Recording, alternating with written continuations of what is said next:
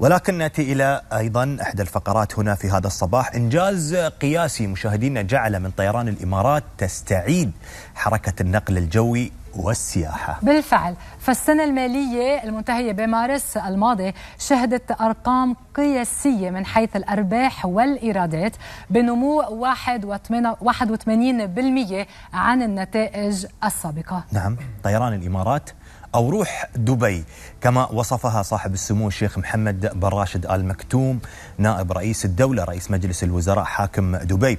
ساهمت كذلك في النمو المذهل الذي حققته دبي في إعداد الزوار الدوليين للعام الماضي بنسبة 97% وقفة مع هذا الإنجاز في تقرير محمد علي يوسف.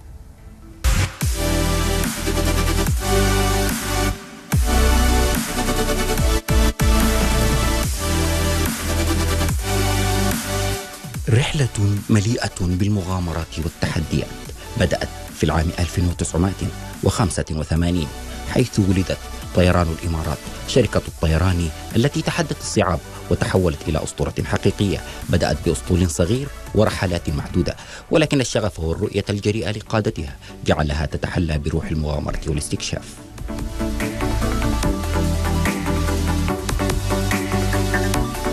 على مدار 38 عاما نقلت ما يقارب ثمن سكان العالم وملايين أطنان البضائع من وإلى دبي وعبرها. طيران الإمارات سحرت قلوب المسافرين بتجارب سفر لا تنسى واستطاعت توسيع شبكة وجهاتها العالمية إلى أكثر من 150 وجهة في أكثر من 80 بلدا حول العالم.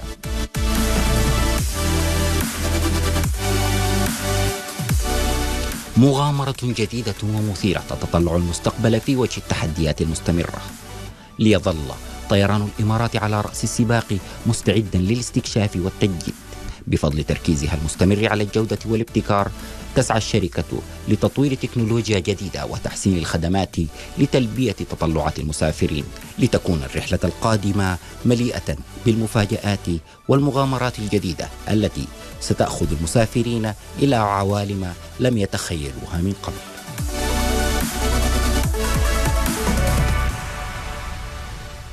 للحديث أكثر عن الموضوع بينضم لنا السيد عدنان قادم الرئيس التنفيذي للعمليات التجارية بطيران الإمارات. صباح الخير وأهلا وسهلا فيك معنا. صباح النور ومشكورين على الدعوة هاي. نعم. طبعا آه، طيران الإمارات من أول ما تأسست كان الهدف واضح. ما كان بدكم تكونوا ضمن أفضل طيران العالم كان بدكم تكونوا الأفضل. المهمة شاقة ولكن أثبتتم عن جدارة تحقيقها صحيح. كيف تم التوصل لهالمراتب المتقدمة؟ والله في بداية الأمر يعني هاي كلها مبنية على الرؤية الشيخ محمد بن راشد في 1984 لما طلب أن الفريق يكون طيران الإمارات الرؤية كانت مبنية على أن كيف نوصل طيران الإمارات بين الشرق والغرب آه، عن طريق دبي آه، أن كيف نبني آه، أو ننمي اقتصاد دبي وكيف نجيب سياحة إضافية للاماره بس في نفس الوقت الشركة تكون مبنيه على الربحية نعم. آه، وتكون مبنيه على الجانب التجاري البحت فبالتالي تركيز الفريق كان دائما على كيف إنه آه، كيف إنه عشان ننافس شركات وعندها باع طويل في المجال آه، نركز على جانب الجودة جانب الابتكار نكون عندنا الأسبقية في موضوع الأشياء الجديدة اللي ممكن نحطها في الشركة. وفي نفس الوقت الاستثمار اللي عملنا في الشركة مبني على الطائرات العريضة. إن كيف نربط بين الشرق والغرب آه، فبالتالي الطائرات كانت كلها طائرات آه، آه، سعه مقعدية كبيرة وكانت عريضة عشان توصلنا لكل المدى اللي كنا نحتاجه بين ان نعم. نوصل الركاب من الجانبين فكلها مبنيه على رؤية واضحة جاية من الشيخ محمد بن راشد حفظه الله. الله يطول نعم دائما رؤية سموة في كافة المجالات تعطي أكيد ثمارها وأكيد نجاحها أكيد. أكيد. يمكن اليوم لما نتكلم عن آه، بعض الأوقات التي يمكن أثرت على كافة المجالات اليوم نتكلم على جائحة كورونا صحيح. أكثر الشركات اللي تأثرت هي شركات الطيران اليوم صحيح. وضع طبيعي صحيح. تكفلت المطارات وإلى آخره طيب اليوم طيران الإمارات بالعكس حافظت على أرقام يمكن يعني صحيح هناك كان هناك تأثر لطيران الإمارات ولكن كانت أفضل من أي شركة طيران أخرى. أكيد. كيف قدرتم تحافظون على هذه الأرقام؟ والله الحمد لله يعني حسب النتائج اللي اعلنا عنها كانت نتائج قياسية أول مرة نوصل له من ناحية النتائج الربحية من ناحية الإيراد 119.5 مليار آه، وصلنا إلى 42.5 مليار السيولة النقدية في الشركة.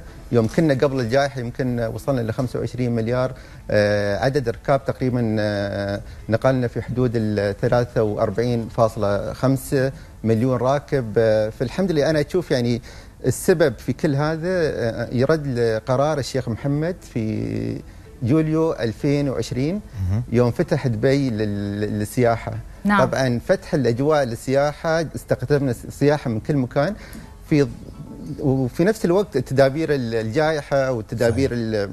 الصحية كانت موجودة آه، في كل المنا... في كل مدينة دبي سواء في الفنادق أو في في ال shopping malls أي مكان صحيح. الواحد يروح لك فالتدابير كانت موجودة بس ها خلانا إن نحن نبني شبكة الطيران بوتيرة أسرع من شركات كثيرة صحيح. يمكن نحن استردينا يمكن 70 أو 80% من شبكتنا في هاك الوقت في 2020 يوم الدول كلها كانت مغلقة. مغلقة والشركات الطيران كانت بعدها ما تشتغل. فنحن كان عندنا سبق في نعم. الشيء واستفد استفدنا هالسبق من قرار الشيخ محمد.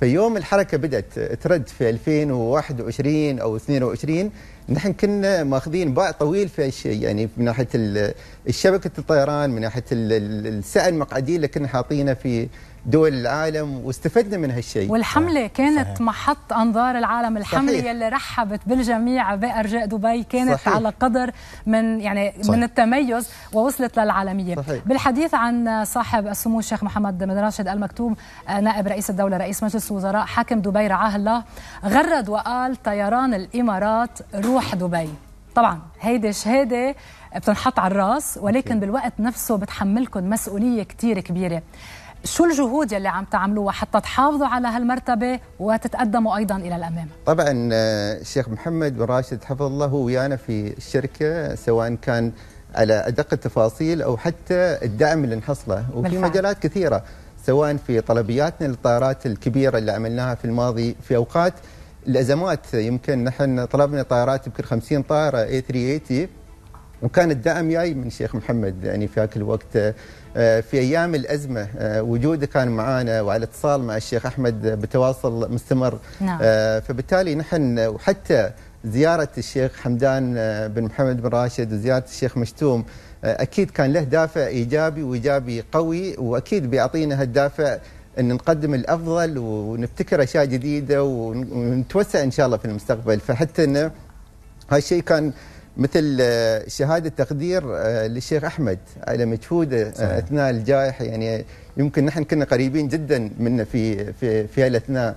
والشغل اللي كان يشتغله ليل نهار يعني ورغم انه الأجواء كانت ما كانت جيدة يعني بشكل عام. مش مريحة مش مريحة نعم. بس الحمد لله يعني بتعاون الجميع. وأنا أشوف بعد يمكن نرد النجاح بعد للتعاون الجميع في دبي. صحيح. يوم نشتغل في دبي نحن نشتغل كفريق واحد, واحد صحيح والكل متعاون والكل يحاول إنه يوفر لك الحلول بدال العراقيل. يعني سواء كان من جانب الشرطة دبي من ناحية الهجرة والجوازات أو من جانب دائرة السياحة والاقتصاد. يعني من كل الدوائر شغالة لهدف واحد. روح فريق واحد. فريق واحد ونحن جزء من هالهدف هذا. نعم. وشفنا نحن يعني يوم آه آه، من كم يوم ال RTA حطوا البوردات التهنئة لطيران الامارات في شوارع دبي. شركات هذا دليل يعني كيف إن الشركات كلها متآلفة ومترابطه في بعضها. نعم. وهي جاي طبعا أكيد من من من دعم. دعم اللي نشوفه يعني من الشيخ محمد بن راشد ومن شيوخنا الكرام في إن نوصل لهالمرحلة من أكيد. من, من النجاح الحمد لله. أكيد. دائما يعني طيران الإمارات تجدد وجهاتها أو يمكن خلينا نقول آه تكون هناك وجهات مستحدثة وجديدة. إحنا نقول آه كت آه يعني تكون لتقليل المسافة يمكن كانت بدل ما تنزل كذا صحيح. فيكون دايركت إلى الوجهة هذه. اليوم أنتم إذا صح التعبير نقول عنكم سعادة دبي أو روح دبي مثل ما أطلق آه، سيدي صاحب السمو أو ناقل السعادة في دبي. ما هي الوجهات أو البلدان اللي أيضا آه، طيران الإمارات آه، يقدر يروح لها دايركت؟ والله اليوم نحن آه، نغطي كشبكه طيران الإمارات أكثر من 140 وجهة بين الشرق والغرب اليوم يمكن وصلنا طائرات لين 17 ساعة رحلات مباشرة بين دبي لين أوكلاند لين أستراليا سيدني ملبورن وفي الغرب وصلنا يمكن للوس انجلوس يعني حوالي في حدود ال 16 ساعة 16 ساعة ونص إلى آه، ريو دي جانيرو إلى بيونس آيرس. يعني كل هاي رحلات آه، يوم من الأيام ما حد كان يتخيل إن direct. إن في رحلات مباشرة بين دبي لهالمناطق هاي. ف واستثمرنا في هالشيء. يعني إذا تأخذ استثمار شركة طيران الإمارات كان كيف إنه الشركات اللي, تصنع الطيارات هاي آه، تعطينا هالطيارات اللي نقدر نوصل ل 16 ساعة و17 ساعة في دبي.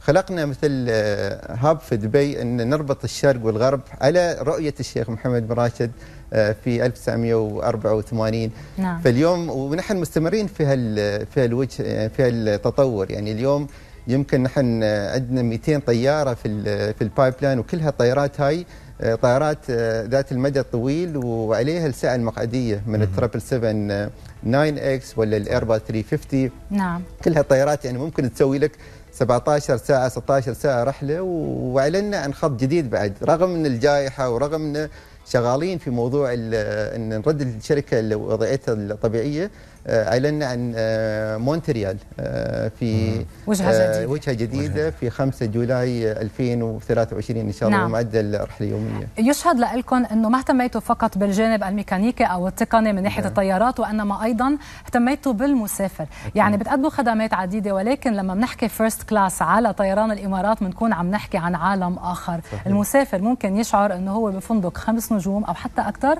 بين السحاب. قد إيه هالأمر بيعني لكم وقد إيه بتهتموا أيضا بتدريب طواقمكم على توفير هالخدمة وهالرفاهية؟ طبعا نحن الدرجة الأولى من الدرجات المهمة في طيران الإمارات يمكن نحن اليوم آه، كل تركيزنا أن كيف نوصل آه، الراكب أنه يحس في الدرجة الأولى أنه جالس في مثل طيارة خاصة. مش مسافر. هي يعني طيارة خاصة يعني كيف كيف الكراسي اللي ممكن يحصلها والخدمة نعم. اللي ممكن يحصلها المنيو اللي أعطينا عند اخت- اختيار أن يختار بين يمكن آه، أطباق مختلفة ال- ال- ال- الت- جهاز الترفيه اللي حاطينه في الطيارة حوالي يعني 32 بوصة يعني هذا تقريبا يعني من من أكبر الشاشات الحالية الموجودة يمكن في في الأجواء نعم إذا تأخذ ال- ال- الغرفة اللي مسكرة عليك يعني تتحكم في الإنارة في ال- في التكييف خصوصية. آه، خصوصية نعم، نعم خصوصية.